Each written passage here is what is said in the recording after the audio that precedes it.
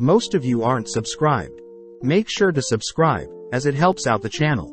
Without further ado, the series kicks off at the dead of night, with a mysterious lady supposedly slaying our MC, Tomokui Kanata, who is unable to stop his own death. Upon opening his eyes, our MC spots an elder goblin in front of him, hearing the old goblin give our MC the name of Gobru. As the elder goblin force feeds Gobru some insects, Gobru falls asleep, waking up the next day, only to spot several other baby goblins around him, helplessly crying. Another day has passed, and Gobru is surprised that goblins mature so fast, heading out towards the sunlight as various other goblins watch. With the fourth day arriving, the elder goblin states that this will be the last meal they will receive, as they will have to hunt for their own food moving forward. As Gobru savors the delicious grubs, Gobru once again heads towards the light, amazed to be in the middle of a forest where mysterious birds fly in the sky, along with the various unknown plants that surround their home. Gobru greets a fellow goblin, Gobkichi, purposely teaming up with one of the more athletic goblins to hunt down their next meal together. As Gobkichi scares a horned rabbit towards Gobru, Gobru manages to knock out the rabbit, but catches Gobkichi trying to eat without him, disciplining Gobkichi. As Gobru extracts the horn from the rabbit, he suddenly hears a voice in his head, brushing the voice aside, as Gobkichi and Gobru finally feast on the rabbit's flesh. With the fifth day arriving, the duo repeat the hunting process, but Gobru manages to make use of the previous rabbit's horn to slay another rabbit. Once again, Gobru hears a strange voice in his head, but once again brushes it aside, feasting on their prey. Just then, Gobru is notified that he has learnt the skill escape, realizing that he has the skill to absorb the traits of anything he eats, just like how he did in his previous life. As the two continue to hunt more food, Gobru notes how none of his skills carried on from his previous life, but is perfectly fine, as there are plenty of monsters in the forest. On day 6, the other goblins learn of Gobkichi and Gobru's success hunting horned rabbits, with Gobmi in particular revealing that a goblin brethren was slain by a horned rabbit the other day. Seeing as Gobmi is so amazed at Gobru's success hunting, Gobru offers Gobmi to join them hunting the next day, earning him a big hug from Gobmi. Sadly due to it raining, Gobru postpones their next hunt, heading deeper into their cave's storage room to search for weapons.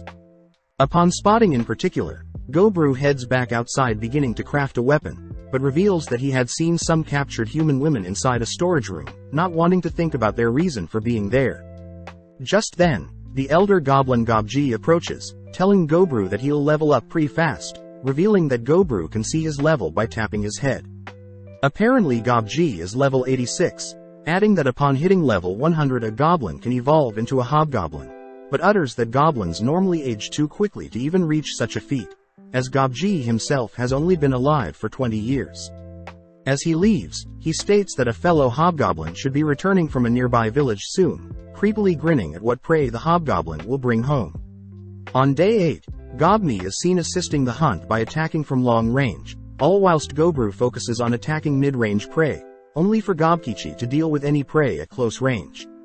As the trio enjoy their spoils from the hunt, Gobru is notified that he has learnt the skills, Thermography, Venom, Venom Resistance, Search and Evil Eye.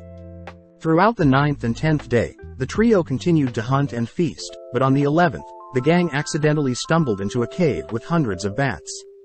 As Gobru orders Gobni to flee, Gobkichi holds up a shield for Gobru, allowing Gobru to active his Evil Eye skill, freezing the bats in place, allowing the gang to slay the bats. Gobru acquires echolocation, vamp up and vemphilia, from eating the bats, but at the same time, fellow goblins jealously watch from afar. That night, several goblins wake up in the middle of the night to attack Gobru, but having had his search skill active, Gobru attacks the six goblins with his horn, but when Gobmi found out they were attacking Gobru, she mercilessly put the goblins to sleep. On the 13th day, our trio faced an orc, forced to disarm the orc first, only to deal the finishing blow. Acquiring libido, orc language, detect analyze from the orc, Gobru reasons he should share his food with the other goblins, noting that he has definitely changed from his previous life, as he would have never helped the weak in his previous life.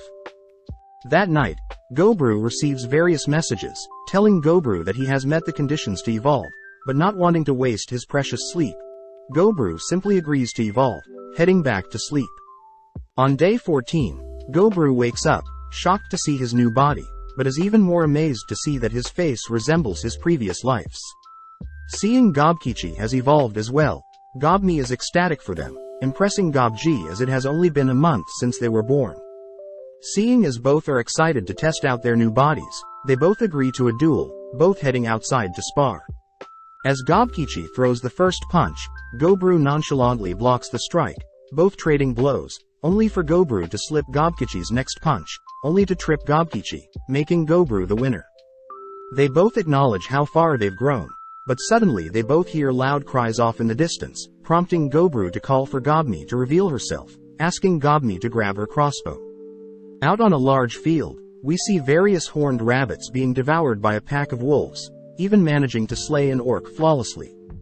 With Gobru and Gobkichi in position, Gobru signals for Gobni to fire the first shot directly at the pack leader, drawing the wolves' attention, only for Gobru and Gobkichi to begin slaying the wolves, with the pack leader running off. Our trio are able to easily dismantle the pack of wolves, but as things wrap up, Gobru is confronted by the wolves' leader, but luckily the leader drops dead due to blood loss. Devouring the leader, Gobru obtains Wild Hunt, Hide Armor and Order, making use of it to become a leader. As Gobru brings back the wolves to feed the rest of the goblins, Gobru states that he expects to be repaid, prompting the fellow goblins to beg Gobru to train them how to hunt. With Gobru gladly offering to train them, the fellow goblins begin chanting and praising Gobru, giving Gobru a clear idea of what he needs to do moving forward. Gobru states that he plans to train his fellow goblins, all whilst devouring more skills himself, but as day 17 arrives, Gobru is seen exhausted with the amount of work he has on his plate. Upon heading back home, Gobru spots Gobni has finally evolved. Later that day, both Gobru and Gobji pray for the deaths of the captured human women, as they had chosen to take their own lives with a poison. With day 26 already arriving, Gobru continues to train the other goblins, scolding Gob for trailing behind, but also notes that he himself has been devouring and stealing skills from more monsters in the forest. Just then, Gobru senses several beings approaching, readying his blade to slay them, but Gobji intervenes, revealing that they are allies. Seeing the various hobgoblins, Gobru watches as Gobji greets Hobkin, praising the Hobkin for capturing more women. Gobru reveals that goblin DNA can override human DNA, Therefore when human and goblins mate, the children birthed will ultimately be a goblin. Unable to stand the sight of the petrified women, Gobru asks if he can take care of the captured women, but Hobkin gets pissed, grabbing Gobru by the collar. Seeing this, both Gobru and Hobkin's armies prepare to fight, but just then Hobzato and Hobsay the mage defuse the situation. As a compromise, Hobzato suggests that Gobru and Hobkin duel for the right to rule, but Gobru is easily able to defeat Hobkin, having used a web skill to restrain Hobkin. With Gobji and the others surprised that Gobru was hiding such a skill, Gobru declares that he'll decide the fate of the human women, secretly telling the girls that he'll take care of the girls and if they behave he'll allow them to return to their village. In exchange for their safety, the women reveal that they were part of a traveling business, but were unfortunately attacked, being the only women that survived, which haunts them still. The next day, Gobru arrives with food, learning that humans can't evolve like goblins and instead obtain special jobs. The short brown hair is an appraiser and a smith. The two blonde sisters are cooks and tailors. The green hair seems to be an alchemist and the red hair seems to be a rookie warrior. Heading back to train his goblin army, Gobru has Hobkin's men train with his army, scolding the cocky goblins for acting all tough, reasoning that they should continue focusing on training before hunting. On day 31, since it was raining, Gobru and Gobkichi put on a show, shocking everyone as they watched the boys move. That night whilst everyone sleeps, Hobkin and his men begin approaching the human women's, but before Hobkin can lay his hands on them, Gobru intervenes, beating and tying the men up. Before Hobkin can spout more of his nonsense, Gobru kicks Hobkin, apologizing to the girls that break down crying. With Gobkichi and some others waking from the commotion, Gobru orders Hobkin and his men to be dragged outside, publicly executing Hobkin and his men's, only to calmly ask if everyone understood the rules. On day 32, Gobru and his party finally begin hunting again, running into a tri-horned horse, which has tough scales. Gobru is forced to tie up the horse, giving them an opening to dismantle and slay the horse. From the horse, Gobru learns the skills, scaled drive, scaled horse's cry, quick healing, kick proficiency, pierce, proficiency up and triple thrust. A skill that allows Gobru to deal three times the normal damage. That night, Gobru is woken up by the red-haired girl sharing a bed with him, feeling bad as the redhead must have been scared. Surprisingly on day 33, Gobru awoke with the redhead and Gobni sleeping beside him, rushing out of bed only to learn that Gob had evolved into a hobgoblin, having been carrying his party's gear during hunts. Reviewing his army's progress, Gobkichi is captain of the armored fighters, Gobni Mons the ranged unit. Hobzato handles mobile goblins. Gob leads the rear support and Hobse is the village's lone mage. Seeing as everything at base is running smoothly, Gobru heads deeper into the forest to explore, running into another tri-horned horse. Conjuring a dark magic spell, Guy Durg, Gobru propels the spell at the horse, instantly decapitating it. Shocked at how strong he is, Gobru heads deeper north, spotting a trail of blood, only to remember that Gobji had warned the goblins of a powerful crimson bear that lived north of the forest. Just then the crimson bear appears, sending shivers through Gobru's body, but even though he knows he should run, Gobru gets excited at getting to fight and consume such a monstrous creature.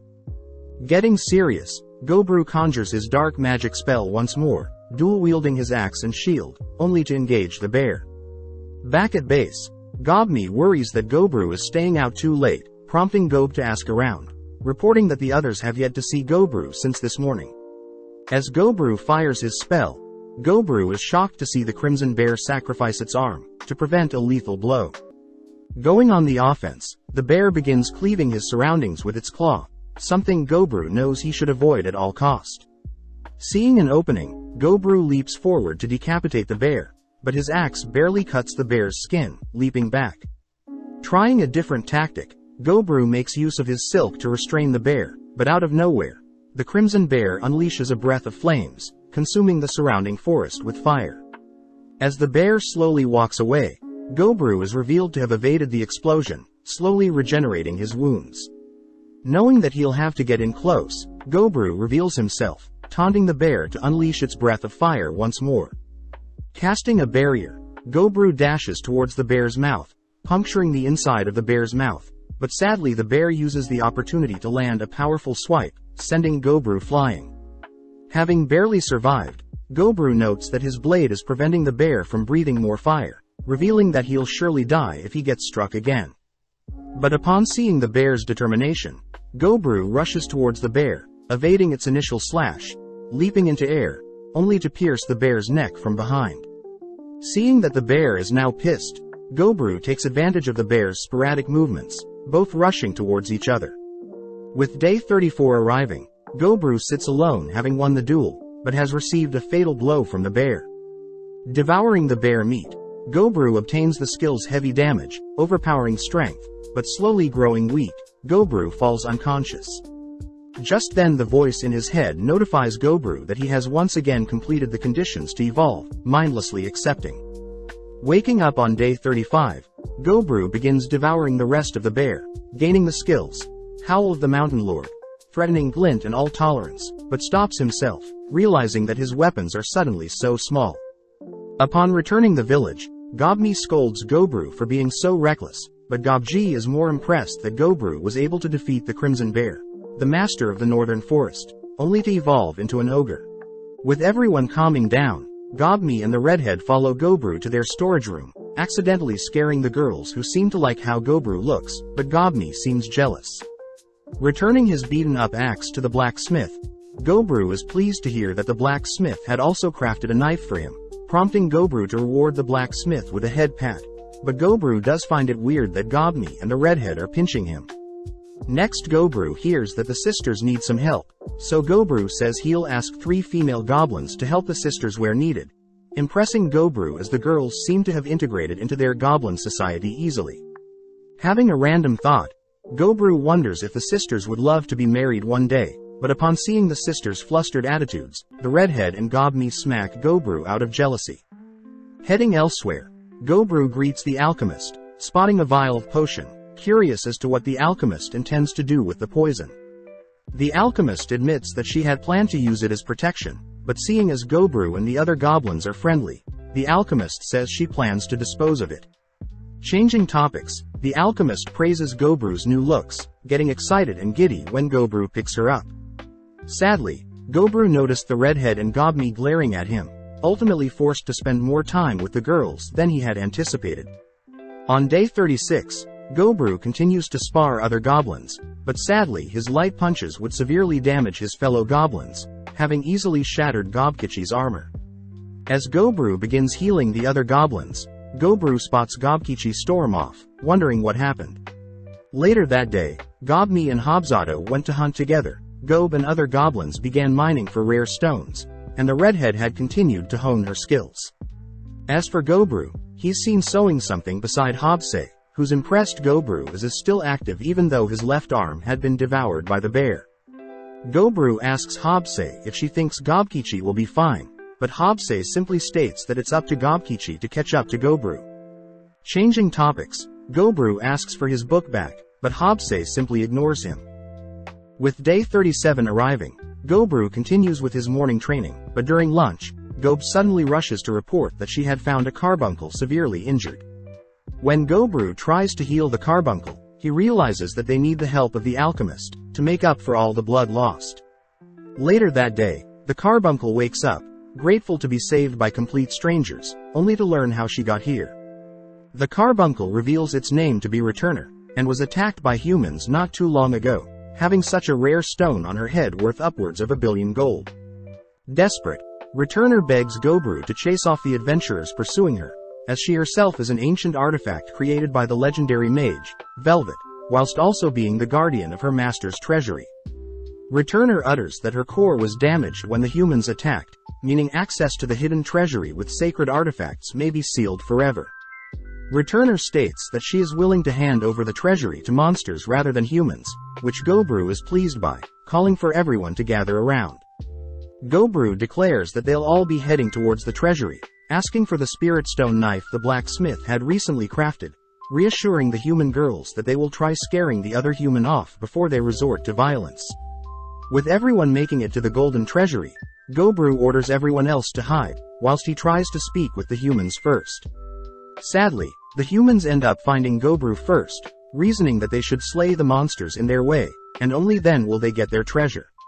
Spotting an invisible assassin approaching, Gobru nonchalantly blocks the assassin's strike, scolding the adventurers for attacking and robbing from the innocent. Refusing to listen to Gobru, the adventurers begin barraging Gobru with strikes, forcing Gobru to evade, detecting that there are three mages that are capable of high-quality magic. Gobru notices that the attack patterns of the adventurers are sloppy, annoying Gobru, but this leaves him wide open to be hit by some lightning magic. Sadly the level 3 lightning spell doesn't damage Gobru, but having had enough, Gobru calls for the others to attack, ultimately stripping and devouring the adventurers. Gobru gains the jobs of an assassin, crusader, guardian, high wizard, priest and enchanter. Upon seeing the rare gear, Gobru chose to consume the gear as well, gaining status concealment and item box which allows Gobru to store up to 1200 items with 99 copies each. With the promise fulfilled, Returner leads Gobru to the Velvet's treasury where Gobru spots Velvet's corpse, learning that Velvet was skilled with spirit communication. Seeing as the Returner's life is coming to an end as well, Gobru chooses to consume the Returner's stone, gaining the skill Golden Order. As Gobkichi checks up on Gob, the others begin moving the loot in the treasury into Gobru's item box. As for the corpse of Velvet, Gobru chose to cremate it. Surprisingly Velvet's corpse left behind a glove which Gobru equipped, being a substitute for his missing left arm. As the gang head home, Gobru decides to throw a party celebrating their gains so far, and throughout day 38, Gobru and the blacksmith inspect the various legendary items. On day 39, Gobru handed out items to the 15 other hobgoblins, personally keeping the Vermilion Spear, Kazikli Bey, the Magic Bracelet, Solitary Fury and his already equipped, Silver Arm, totaling three legendary artifacts, the second highest ranking items.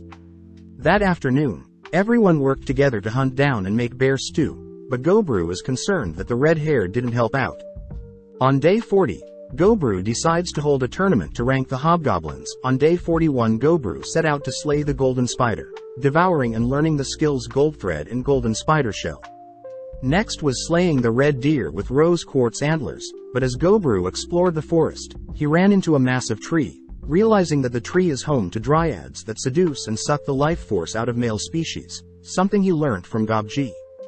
Just then a dryad appears before him, beginning to press against and seduce Gobi, but seeing as he can't hold back his temptation, Gobru makes use of a skill, indulging in his temptations and satisfying the dryad. Afterwards, Gobru heads to a nearby waterfall to wash off, but runs into lizardmen, slaying and learning the skills aquatic life and lizardmen language. Gobru ended the day with slaying a bull, making use of his left arm. On day 42, Gobru had found out that two goblins were capable of magic, assigning Hobsei to teach the goblins, but gets scared seeing how happy Hobsei is. Moving on, Gobru learns enchantment magic from the blacksmith, but wonders why the blacksmith, Gobni and the redhead are all mad at him. Shocked to see that the sisters are trying to poison him, Gobru learns from the alchemist that the girls are jealous, realizing that the dryad had left hickeys on his neck. Just then the alchemist leans in for a kiss, offering to do the deed with Gobru as well, but just then, Gobni, the redhead and the other girls offer to join in as well, all whilst Gobkichi and Gob are kept outside with some golden threading. On day 44, Gobru reveals that his search skill has improved so much, able to detect and discern approaching enemies he's encountered before, heading outside to greet some cocky elves. When Gobru demands to know what the elves want, the elves begin arrogantly scolding Gobru for not being grateful, but Gobru knows that the elves are asking for help against the humans that are preparing to attack. With Gobji and Gobru hearing that the elves will reward the goblins for their help, Gobji notes how it isn't a bad deal, but suddenly Gobru declines. Gobru states that the elf better be more sincere when asking for help, but as one of the elves begins to draw his blade, Gobru unleashes his petrifying gaze, bringing the elves to their knees. Swiftly picking up the leader of the elves by the neck, Gobru demands the leader halt his hidden elves from firing any arrows, but out of nowhere Gobru manages to catch an incoming arrow with his jaw. Seeing Gobru pissed, the elf leader calls his men to cease fire, but Gobru unveils his vermilion spear, stating that he's perfectly fine with teaming up. Stabbing the spear into the ground, Gobru conjures hundreds of spears that surround every elf within a 100 meter vicinity, something that ultimately scares the elves into retreating. On day 45, Gobru heads out to hunt 20 gray slimes, consuming them and obtaining the skills, physical attack resistance, auto-replication, fluid regeneration. Biting his finger, Gobru uses some blood to summon a mini-clone that allows him to see through and share senses, suddenly getting an idea. On day 46, Gobru asks the girls to create several pieces of clothing with Gobru's blood. This way Gobru will be alerted if anything happens to the girls. Leading to day 47 where Gobru has spotted the elves returning using one of his clones. As the elves march towards the entrance of the goblin's cave, Gobru immediately activates his howl, once again freezing them in place only to bind the elves with his silk. Interrogating the elves inside the cave, Gobru notices that most of the elves are apologetic, having tried to stop the elf leader. But the elf leader continues to be cocky, stating that he intends to punish Gobru for the other day. Annoyed, Gobru states that the elf leader will be put to death, as for the remaining elves, Gobru gives them a chance to live if they can each defeat one of Gobru's goblins. Surprisingly, out of 23 elves, only 6 failed to pass, but Gobru had secretly fixed the matches to have 6 male elves fail, consuming the 6 elves only to gain Resident of Evergreen, Elementaler, knowledge of archery, tracking, hiding. Sadly, Gobru announces that the remaining elves will have to surrender their weapons, stating that they will be kept as prisoners. When the elves voice how Gobru lied, Gobru reminds the elves that they tried attacking the goblins first, but spotting Gobji getting excited upon seeing so many female elves. Gobru reminds Gobji that no one is to touch the elves, but allows Gobji to at least satisfy himself. As Gobru finally slays the elves' leader, we cut to day 48 where Gobkichi has finally managed to solo a bear, reaching level 100, where he finally unveils his new body on day 49. With Gobru and Gobni impressed, we learn that Gobkichi evolved into a special variant with dark red skin as a blessing from the demigod of flame and a thick layer of muscle as a blessing from the demigod of war. Gobkichi states that it's been a while since they both sparred, prompting both to head outside, both exchanging devastating blows with neither falling, but ultimately Gobru manages to outlast and topple Gobkichi. As Gobru and the others train all day, we see Gobru later that day stumbling through the cave, exhausted from sparring, only to spot a figure approaching. As the figure reaches out to give Gobru something, Gobru is suddenly seen waking up on day 51, dragged out of bed by Gob, learning that Gobkichi have inspired four new goblins to evolve into hobgoblins. The alchemist reveals that one of the hobgoblins can become a mage, whilst another can be a cleric, introducing Gobji, who promises to heal his fellow goblins. Gobru also notes how Hobsei has also evolved this morning, having grown into the Lord family as a half-spell lord, but seeing Hobsei's markings, Gobru wonders if they are the same markings on his body as well.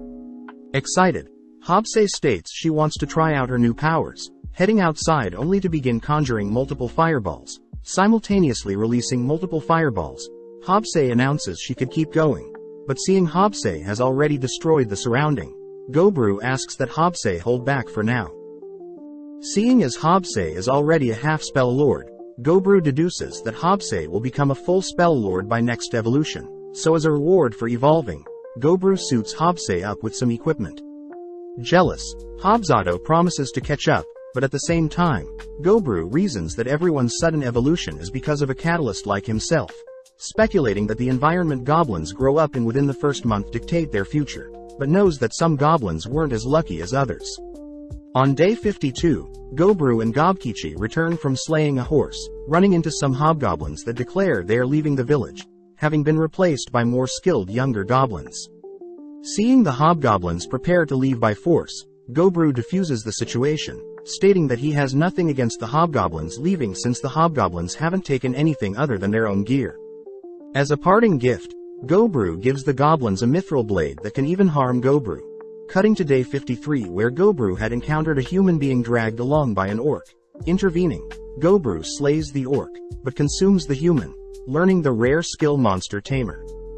That night, Gobru meets with the alchemist, who unveils the product Gobru has been yearning for, alcohol.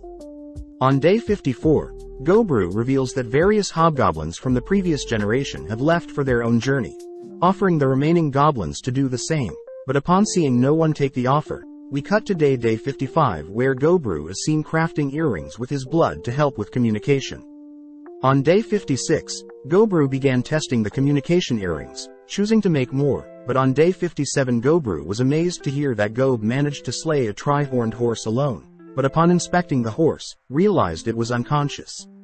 Making use of his monster tamer skill, Gobru announces the horse as their first familiar, cutting to day 58 where Gobru is seen chasing a pack of black wolf with the help of his new pet bear, ending the day by taming the leader of the wolf pack and stationing it to protect the human girls.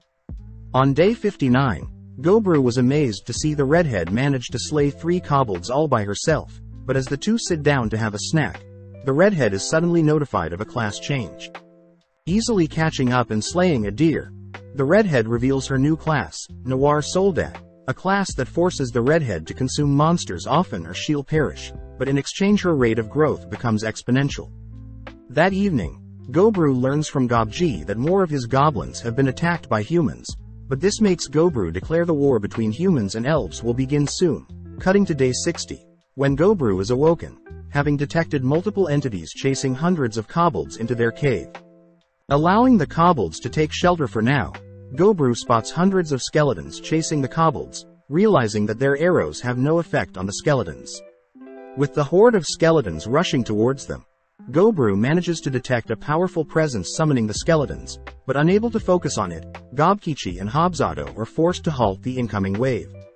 Surprisingly, Hobzato manages to shatter several skeletons with ease, prompting Gobru to order his goblins to begin smashing through the hoarder. Equipping his spear, Gobru begins counting to ten, all whilst dismantling and making his way through the horde of skeletons, only to easily slay the leader.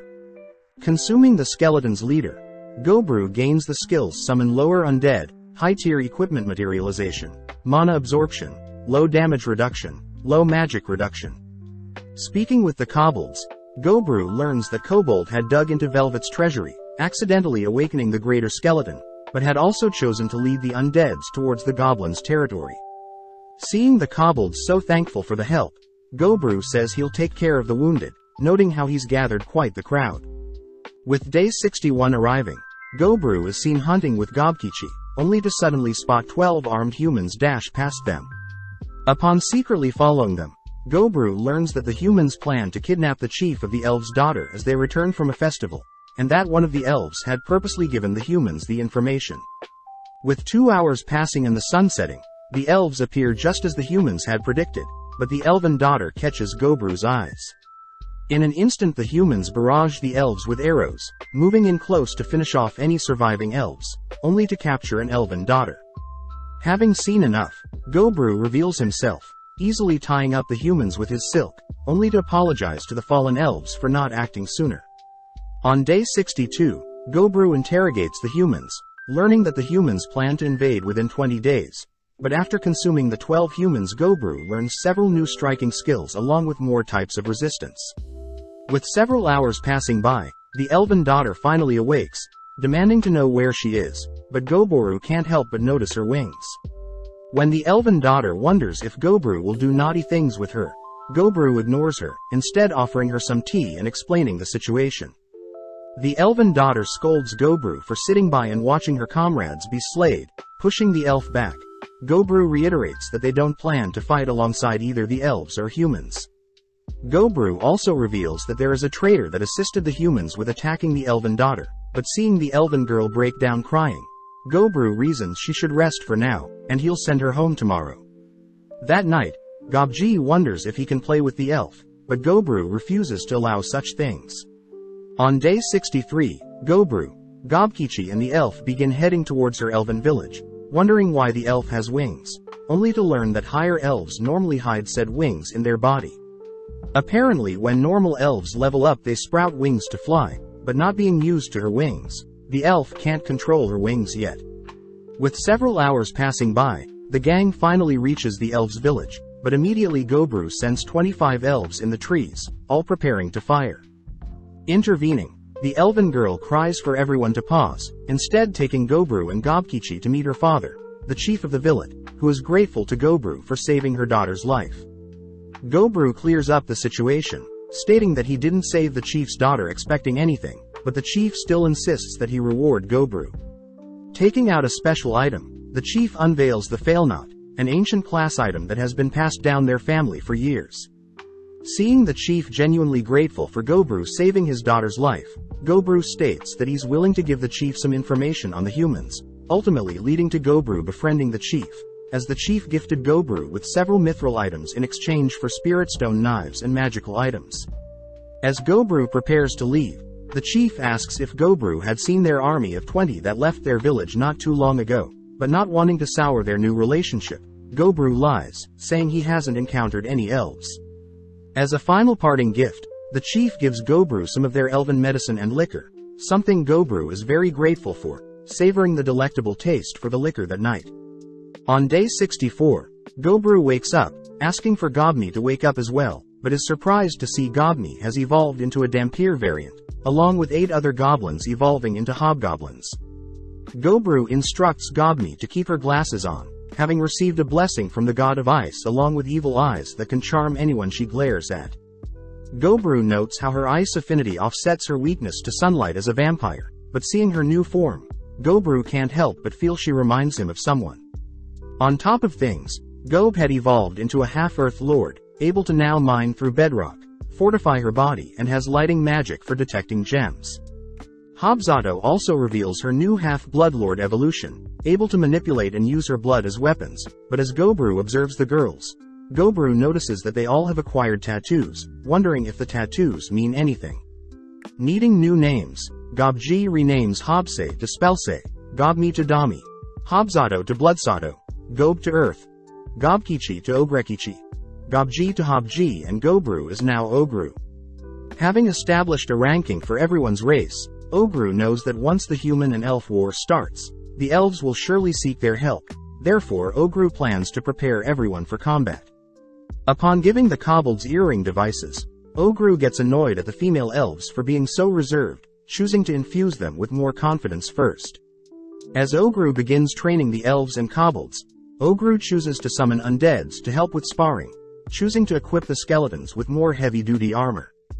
As the elves begin to integrate to the goblin's way of life, we cut to day 65 Ogru figures out he can summon regular skeletons, zombies and undeads. Ogru also confirms he can't devour and steal the skills of Ghost, and that the undeads easily burn up in sunlight, but as their population expands over 100, Ogru wonders how he can get the kobolds to grow faster. As Ogru worriedly watch Gobfu devour the flesh of undeads, we cut to day 66, where Ogru and several others are visiting the caves where the kobolds reside. As the kobolds gather their stuff, Earth takes over, sealing the kobolds' homes for good, only for Ogru to order the kobolds to begin hunting down wolves, in order to tame more familiars. Surprisingly, the kobolds manage to tame 20 new wolves, but sadly no pack leader. As the gang return home, Earth runs into a stamp boar, excitedly charging at it, but Earth accidentally beats the boar to a pulp.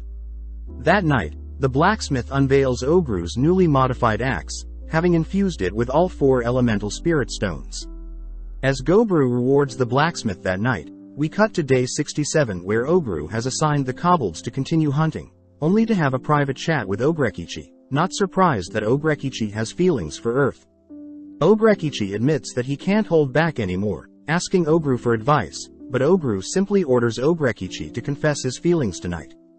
With the full moon in the night sky, Ogrekichi finally musters up the courage to confess his feelings for Earth, who surprisingly accepts Ogrekichi's confession, both embracing. On day 68, Ogru is surprised at how fast Ogrekichi is, happy that Ogrekichi's confession went well, but Ogru secretly reveals that he had Dami help smooth things out for Ogrekichi to confess. Upon confirming that Earth is okay from last night with Ogrekichi, Ogru had Ogrekichi spar with one of his undead summons, only for Ogru and the gang to head out to slay stronger monsters. Upon consuming the monsters, Ogru tries out his new exoskeleton skill, suddenly encasing himself in some tough armor, something that can easily block incoming strikes. Seeing as the armor is too fancy, Ogru unequips it, but also takes the chance to try out his new flight ability, sprouting wings. Finishing off the day with some stamp boar soup, we cut to day 69 where Ogru starts the day by sparring with the redhead, happy that she's making progress. Next Ogru visits the blacksmith, happy to see the elves, Karu and Uru, are enjoying working for the blacksmith. With the blacksmith and elves working together, they managed to craft a superior crossbow, but that evening, Ogru visits the sisters, learning that they obtained the class, head cook. As Ogru finishes up having the sisters recreate meals from his past life, Ogru visits the alchemist, amazed that the alchemist has produced nails from black skeleton bones that freeze enemies that are struck. As the alchemist makes her advances on Ogru, the other girls join in, leading to day 70, where the elves are visiting to report some news to Ogru. Thanks to the earrings, the elves Ogru captured are disguised as dark elves, but Ogru learns that the humans are finally making their move, as the elf representative proposes an agreement, asking Ogru to slay all the humans. Ogru gladly accepts, handing the elf a device that'll allow Ogru to communicate with the chief. As the elves leave, Ogru gets excited, deeming his army the Parabellum mercenaries, only to order everyone to prepare for war. On day 71, Ogru and his Parabellum mercenaries begin heading out, revealing that they've gathered 36 members, but with Spelsay's help, they've managed to expand to 73 members with the help of familiars. With everyone arriving early to the humans' camp, Ogru spots a magical barrier, noting how the barrier is meant to keep out lower-level monsters than the barrier's human spellcaster.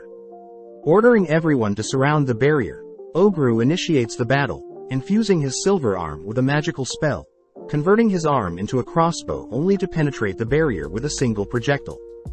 Following up, Earth created earth walls only for Hobsei and Dami to shoot fire and ice spells, all whilst Ogru summoned his hoarder of skeletons whilst firing several more rounds from his arm. As the battle ensued, Ogru was surprised spotting several humans alive, spotting the human leader. As Ogru makes himself well known, the humans spot Ogru, all turning their attention to Ogru. First one of the human mages carves a path for the frontline humans, next the leader of the humans is enchanted with a speed and barrier spell, rushing through the army of skeletons, but unfortunately Ogru simply repels the leader as she strikes. As Ogru compliments the leader's fire spirit, The leader simply demands Ogru to defeat her before acting so close, but seeing as it's an interesting proposal, Ogru gets off his familiar, ordering his army to slay everyone but the Lady Knight, the sorcerer, the priestess and the flame swordsman. As the leader charges up a powerful strike, Ogru sadly reports that his army is simply too overwhelming, spotting Ogrekichi nonchalantly carving through the humans. Dami enchant and have the humans turn on each other with her charming eye. Bloodsato use the blood to of the humans to collect more souls and Earth manhandle the remaining humans. Back with Ogru, the Lady Knight managed to reach him with her ignited blade, but sadly her blade is unable to pierce his thick skin. Out of nowhere a dragon spell is casted, with the caster asking for their leader to run. Sadly, since the Lady Knight refuses to flee, the caster is forced to release the level 5 dragon spell, onto both the leader and Ogru.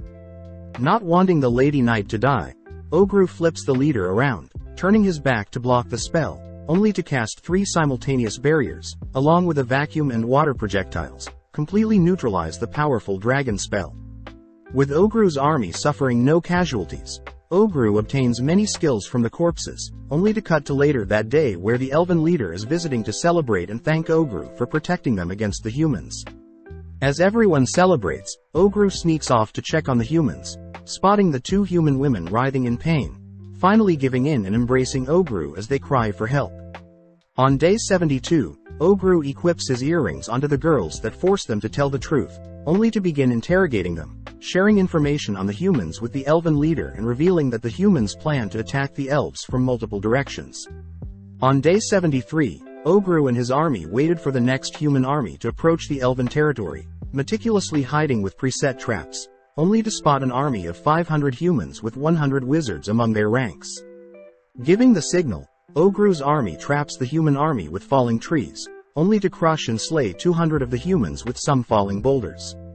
A little more time went by and Ogru's firing squadron ended up whittling down the humans down to 100, prompting the remaining men to create a circle, choosing to bunker down. Spotting the remaining leader of the humans, Ogru's orders his army to continue blasting the bunker, all whilst Ogrekichi is ordered to capture the humans' leader. Using their overwhelming army to outwit the remaining men, Ogrekichi manages to find the leader, isolating him only to overpower him. Ogru earns more skills from the corpses, but at that moment, Dami shyly utters that all the fighting had got her worked up, asking Ogru if she can have his baby. On day 74, the captured humans grow annoyed that they've been embarrassed, having been tamed with collars around their necks, but having heard enough the redhead man orders the cocky men to quiet down. Having interrogated the redhead man, Ogru learns that the human versus elf wars started due to the first princess of the human kingdom, Sternbert, suddenly contracted a fatal disease. The princess was also married to the future emperor of the neighboring empire Kilika, someone who knew of the elven medicine that was said to cure all illnesses, and hence the humans declared war on the elves, hoping to find said cure to heal their weakened princess. As Ogru wonders what his next move should be, we cut to Earth who has accidentally uncovered a heated water source, giving Ogru an idea. Getting to work, Ogru unveils his newly created hot spring. As Ogru, Gobji, Earth, Gobkichi enjoy the bath, we see that the girls have begun scrubbing each other's back, each complimenting the other's fair skin. On day 75, Ogru decided to have the humans begin training with his army, assigning Dami and Spelse with their own armies for a mock battle. But as for Blood Sato and Ogrekichi, they fail to grasp simple concepts for warfare and are forced to sit the mock battles out. At the same time, the redhead man manages to outspar Ogru's summons, demanding that he get to spar with Ogru himself. Impressed, Ogru gives the redhead a physical boost, accepting the redhead's challenge, but still easily overwhelms the man. As Ogru heals the redhead, Ogrekichi offers to spar as well, impressing everyone as the redhead and Ogrekichi both get fired up the longer the battle draws on. Sitting down for a meal, the redhead man reveals that he is very used to speaking with demi-humans, preferring the demi-humans more than humans. Hearing that the redhead man is impressed with how Ogru united everyone, Ogru is impressed to hear that the redhead man wants to work for Ogru moves forward, prompting Ogru to remove the man's collar, and assigning him to train the redhead girl. On day 77, some of the humans Ogru captured refuses to participate in training, hence the elves offer to watch over them instead. Seeing as it's the perfect chance, Ogru asks the elven leaders about this almighty medicine that the elves have, but Ogru is shocked to hear that the elven leader had given Ogru the medicine as a reward for saving his daughter the first time they met. Taking out the medicine, Ogru drinks the potion, obtaining the skill of quick regeneration, blood of panacea. Upon giving one of the captured humans a drop of his blood, everyone is shocked to see the human completely regenerate all wounds, making Ogru wonder how strong he has truly become. As their third interaction with the human army arrives, Ogru is seen tossing his spear, instantly slaying the human captain, only to conjure hundreds of spears to kill off a good chunk of the humans. As Ogru's mercenaries rush in to clean up the rest of the humans, Ogru produces an ooze to consume the human corpses, cutting to day 82, where Ogru is visiting the elven leader. As the elven leader serves up a feast, he thanks Ogru once again for decimating the human armies, but reiterates how he doesn't want any unnecessary bloodshed, Therefore the elven leader plans to give Ogru their greatest elven warriors to ensure their next battle with the humans will end the war. With Ogru listening to what the elven leader has planned, Ogru, the redhead and the female knight ride back on familiars. But the knight takes the chance to request that Ogru at least help cure the sick princess, reasoning that Ogru can save a life and have the kingdom owe him a favor. Although it doesn't sound like a bad plan, Ogru knows that human society worships the five great gods, but seeing as Ogru is blessed by the god of demise and origin, he knows he won't be welcome. Thinking for a bit, Ogru comes up with an alternative solution, cutting to day 83, where Ogru's final standoff against the remaining 2,000 humans has arrived. With extra troops from the elves, Ogru's army totals 650, meaning Ogru is completely outnumbered.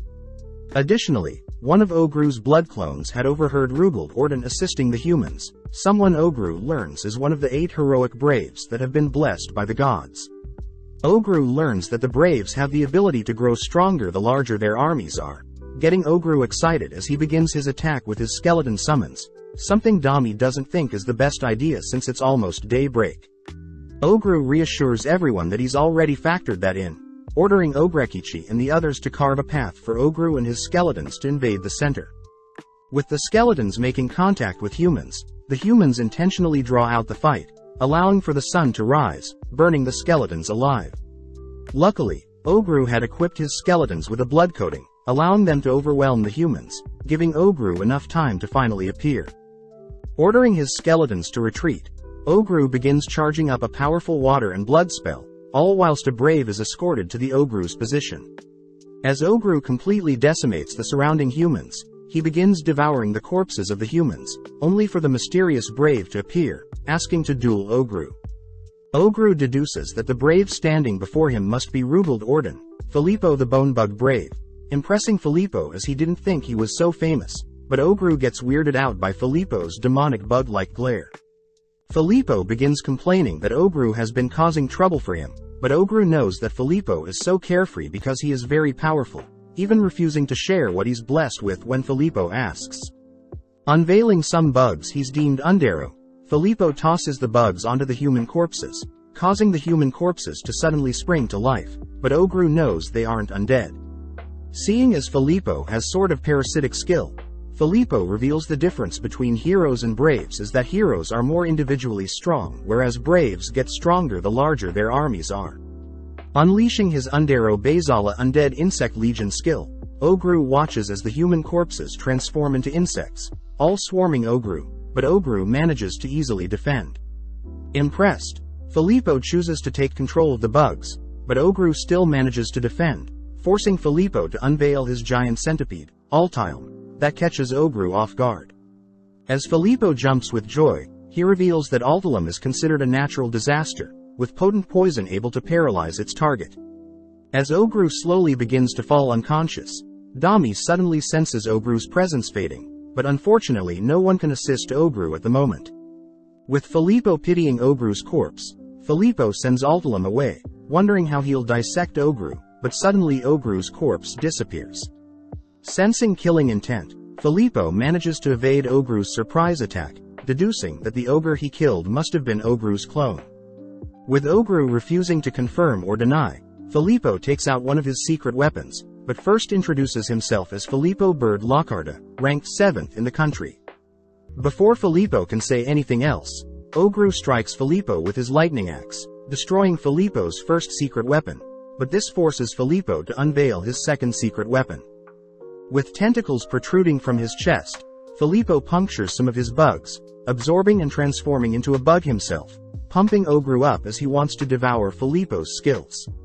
As Filippo dashes forward, Ogru severs Filippo's tentacles, forcing Filippo into the air, but Ogru replies by tossing a lighting projectile that Filippo barely dodges.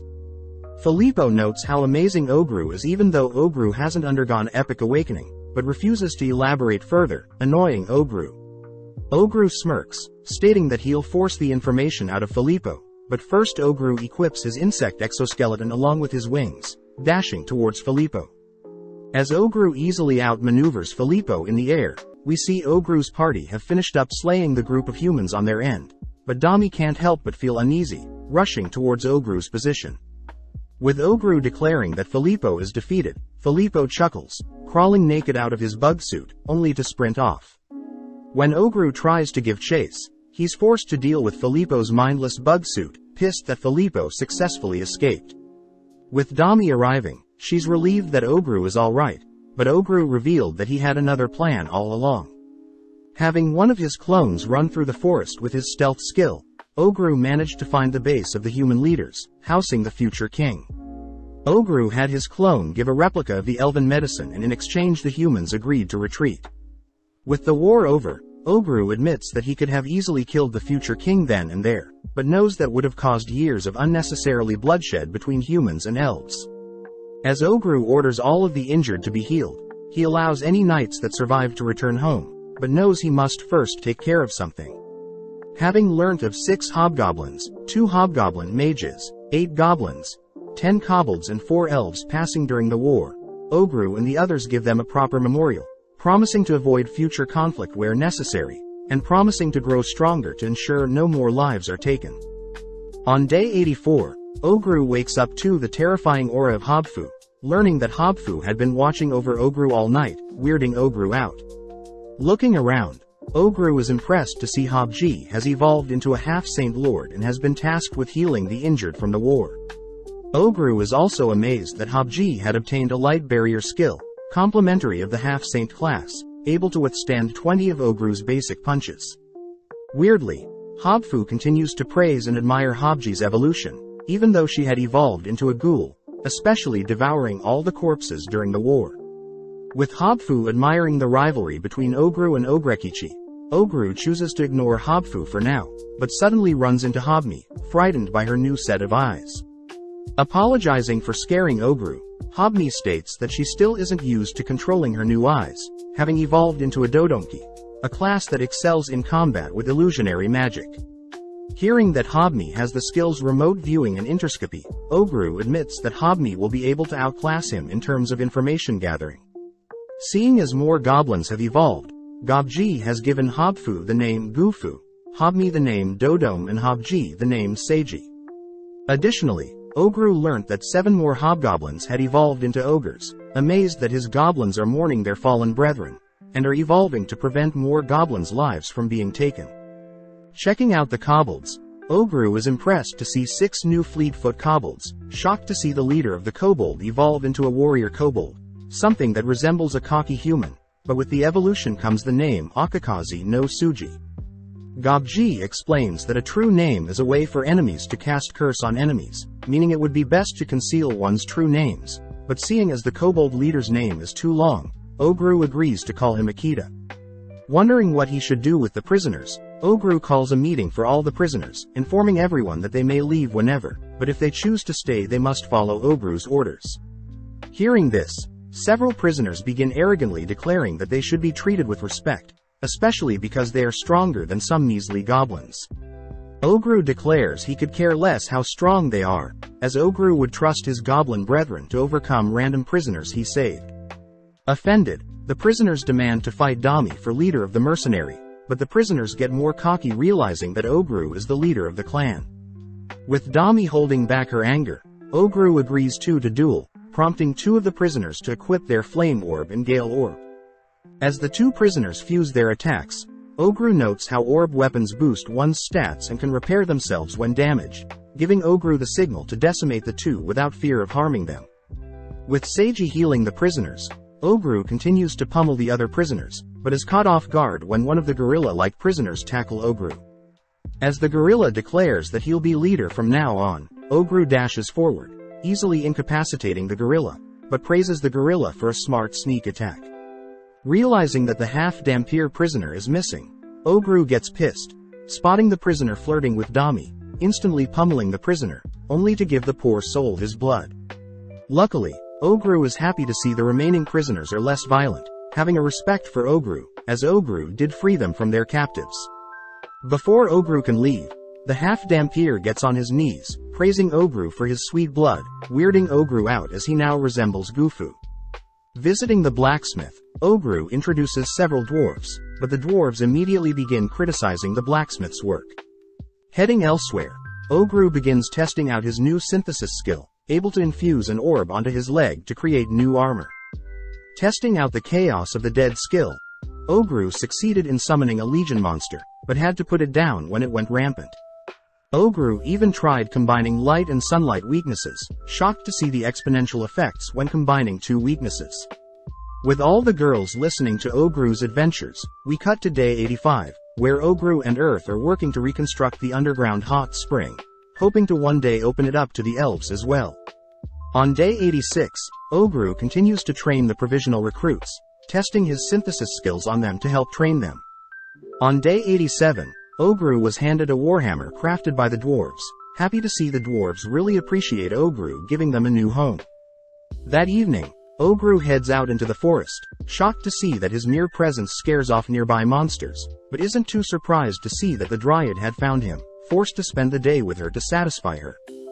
Upon returning home, the girls found out that Ogru had been spending time with another girl, forced to satisfy the girls all throughout the evening.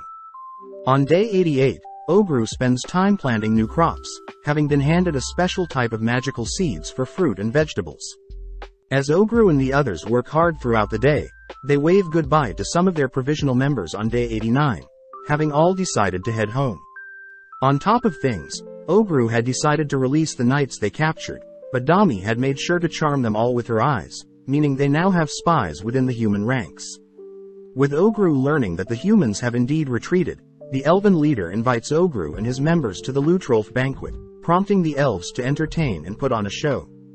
Ogru wonders if the elves should really be sharing such a sacred festival with outsiders. The elven leader reassures Ogru that sharing this tradition with a friend is the least they could do.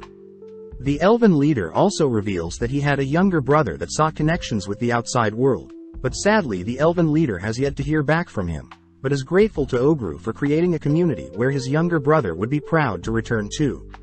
On day 90, Earth had reported that she had dug up the rest of the Spirit Stone, left behind by Velvet and Returner. As a sign of gratitude, Ogru chooses to consume the Spirit Stone, obtaining various gravity magic and spatial resistances. That evening, Ogru makes use of some black skeleton corpses, fusing them with anti-sunlight magic, in order to create a skeleton centipede. Ogru states that he'll be using the centipede as a ride, to take the girls back to their human town, making the girls fear that Ogru dislikes them, but Ogru reminds the girls he had promised the girls their freedom a long time ago. On day 91, Ogru proudly presents his new hot spring facility, allowing more of the citizens to leave, but at the same time the redhead gets scolded by her teacher for not focusing, but is relieved to hear Ogru still prefers to have the girls around. As Ogru spends day 92 with the girls, we cut to day 93, where Ogru holds a welcome party for his new members, but heads over to chat with some of the members that remind Ogru that humans in the kingdom and empire despise demi-humans and that Ogru will need a guarantor from a noble family. Day 94 marks their preparation for departure day. Ogru announces that they'll split into groups, ordering everyone to gather as much intel as possible, that everyone try to defeat the enemies they encounter, that they all try to level up and most importantly that everyone try to stay alive. With day 95 arriving, everyone is gathered outside, with several people nervous and excited. As Ogru gives his final remarks to his rival Ogrekichi, everyone now splits up, prompting Ogru to admit that he was happy to have learned so much in the forest, but now he'll be heading off to visit the human girl's hometown, the garrison city of Trient. Check out one of our other videos on the screen or in the info card above. Subscribe, like and comment.